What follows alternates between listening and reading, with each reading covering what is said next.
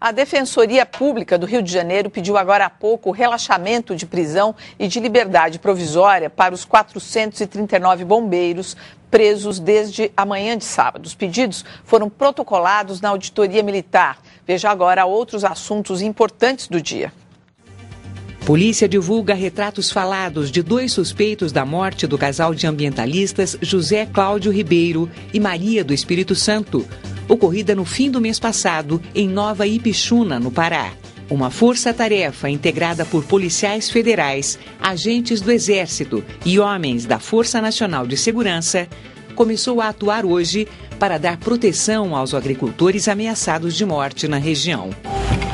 Ministro da Saúde anuncia que a campanha nacional contra a paralisia infantil deste ano vai imunizar as crianças também contra o sarampo mais de 100 mil postos vão participar da vacinação, que acontecerá em duas etapas, 13 de agosto e 16 de setembro. Ministério Público do Paraná pede o afastamento do prefeito de Londrina, Homero Barbosa Neto, por participação em um esquema de corrupção no sistema de saúde do município.